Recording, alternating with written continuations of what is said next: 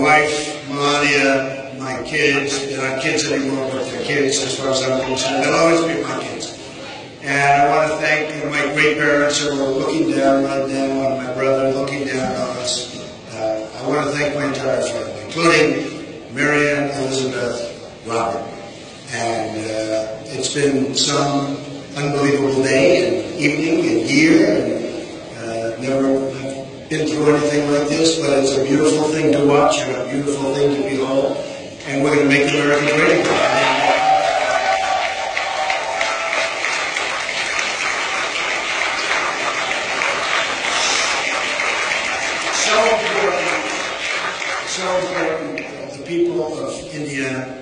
Have been incredible.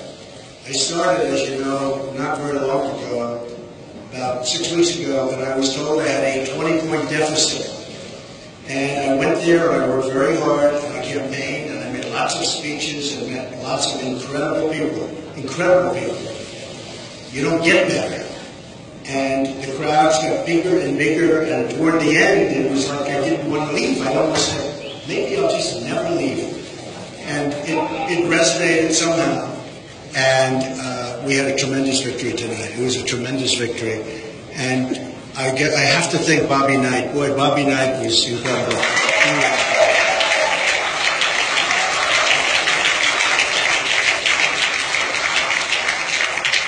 I always say about, you know, people like that, there aren't many, but it's called tough, smart, and they know how to win.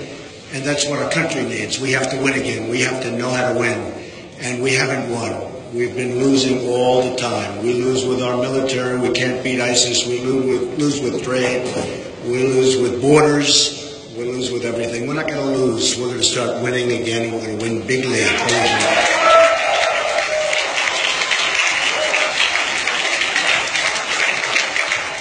So when I got back tonight and I started watching all of the different networks, I could see immediately that we were doing very well, and it really looks like a massive victory, and looks like we win all 57 delegates. As, as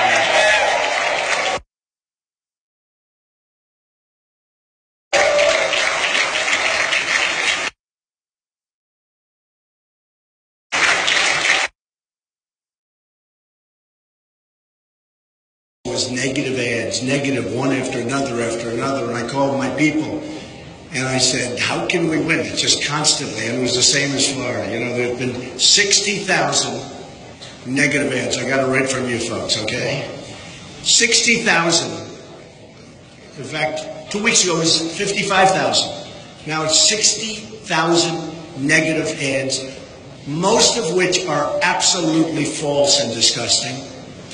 And I said, how can anybody endure this? I had one evening two nights ago where literally they had five ads on in between segments of a show that I was watching.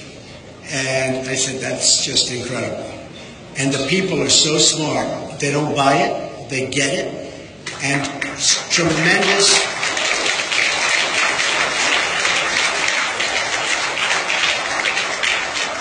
Tremendous amounts of money were spent millions and millions of dollars, and they were comparing it. They think it was probably $8 million was spent against me, and we spent $900,000. So, I mean, to me, that's the way it's supposed to be. It's something that makes me feel really, really very good. And now we're going to Nebraska, where I have, I just hear we're doing really wonderfully. I look forward to that very much. And West Virginia, and we're going to get those miners back to work. I'll tell you what, we're going to get those miners back to work. We're not going to be Hillary Clinton.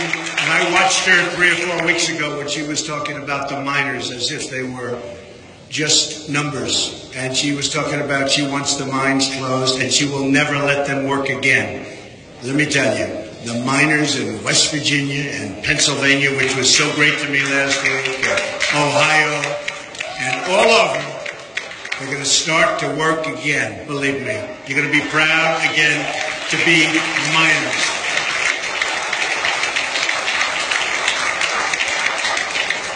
So we'll be going there. I, I must say, this tremendous run that we've had started with New York where we had almost 62 percent And don't forget, that's with three people. So 62% with two people is a massive landslide, but 63%, almost uh, just a little over 62, when you have that kind of a number with three people, it's actually unheard of. And all throughout, it was 17 people, then 15, then 12, and, you know, it's tremendous. And uh, we were getting very high numbers. And some of the numbers, in my opinion, that I got in the early stages where I'd win a state with 32%, but there were 14 people. I think that might be actually more and better than getting 62% in New York, but we never got credit for that. But now we don't need the credit because we're going after Hillary Clinton. She will not.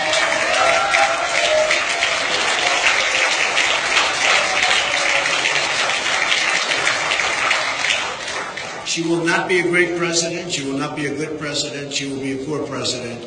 She doesn't understand trade. Her husband signed, perhaps in the history of the world, the single worst trade deal ever done. It's called NAFTA. And I was witness to the carnage over the last six weeks, especially. Now, I've known Syracuse and I've known Poughkeepsie, and I've known all of the different places that I visited in New York and then Pennsylvania and then Maryland, which treated me so great, and the people are incredible, and all of the different states, Connecticut. And I've witnessed what it's done really firsthand, and it has been indeed carnage. And we're going to change it around. We're not going to let Carrier and all of these companies just think that they can move, go to another country, make their product, sell it back to us and we get only one thing. We get unemployment. Not going to happen anymore, folks. Not going to happen anymore.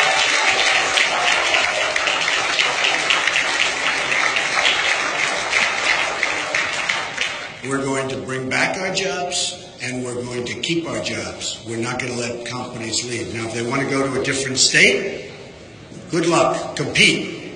But when they start going to different countries, and in many cases, countries that devalue their currency and make it impossible for our companies to compete, that's not going to happen. Not going to happen. And if they want to do it anyway, there will be consequences, and there will be very, very serious consequences.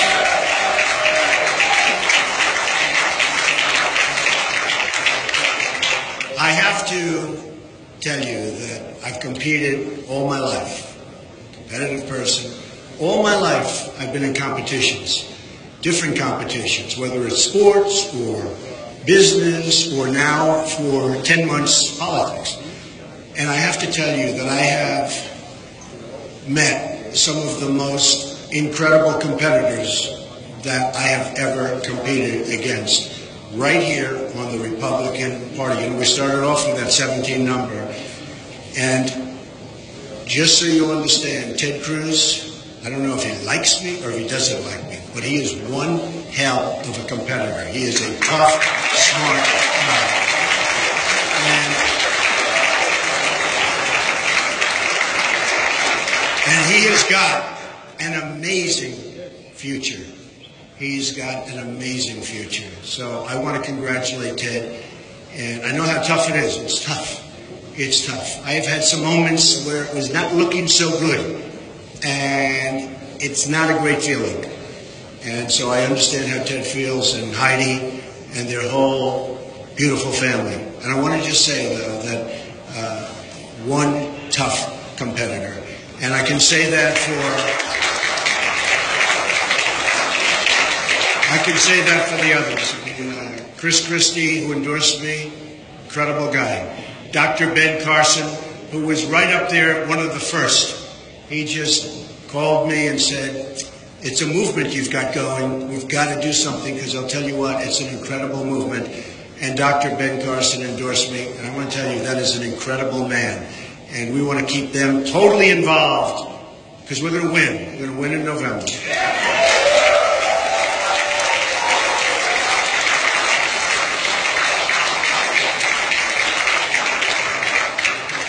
We're going to win big, and it's going to be America first. You know, I made a speech the other day, and I talked about how we're the policemen for the world, how we protect other countries, and they don't respect us, and they don't take care of us, and they don't treat us right in many cases.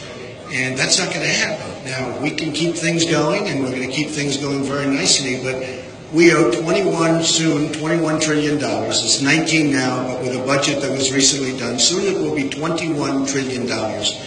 And we're just not in the position that we were in 30 years ago, 40 years ago, 50 years ago, when a lot of these things took place and began taking place. So we're going to have unbelievably good relationships with other countries. But likewise, they have to treat us fairly, and they have to understand that what we've been doing over the years has been so wrong and so unfair to the United States and to its people and to its taxpayers. So that will change, and I will tell you, they're going to end up liking us better than they do right now. They're going to respect us. In this building right upstairs,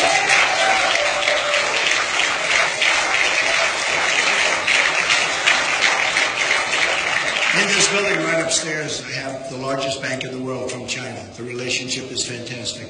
We have great relationships with many foreign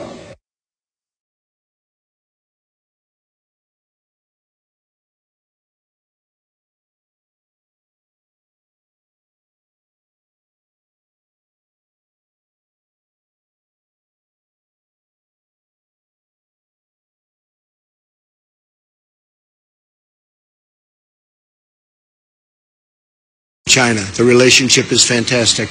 We have great relationships with many foreign countries, but they have to respect us, and they have to respect us, and they have to understand where we're coming from. And you know, it is a two way street. And the two way street means that we're going down one side and they're coming up the other.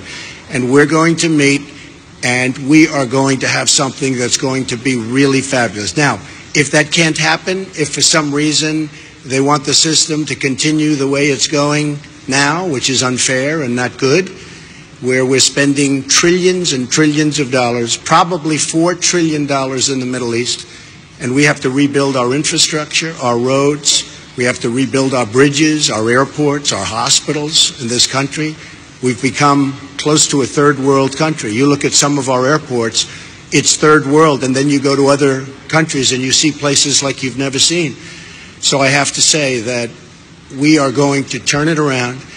We're going to build up our military bigger, better, stronger than ever before. It's the cheapest thing we can do.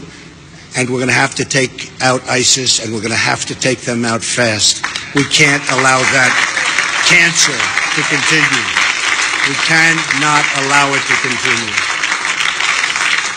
And you know, uh, one group that's been so incredible to me are the vets, the veterans, and they've been treated so badly, so badly. And we're going to get that. We're going to get that straightened out. Now, one of the things that just happened, which to me is very exciting, and it's happened now with two or three, but uh, the Rasmussen poll came out yesterday, and in that poll, I'm now leading Hillary Clinton. A lot of good things. Out. We're now leading Hillary Clinton by two points.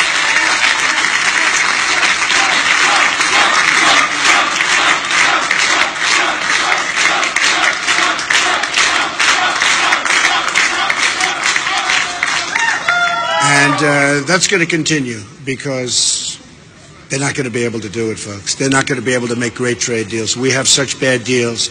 They're not going to be able to do what we can do with the military. They're not going to be able to do what we're going to do on the border, including the wall. We're going to have unbelievably great relationships with the Hispanics. The Hispanics have been so incredible to me. They want jobs. Everybody wants jobs.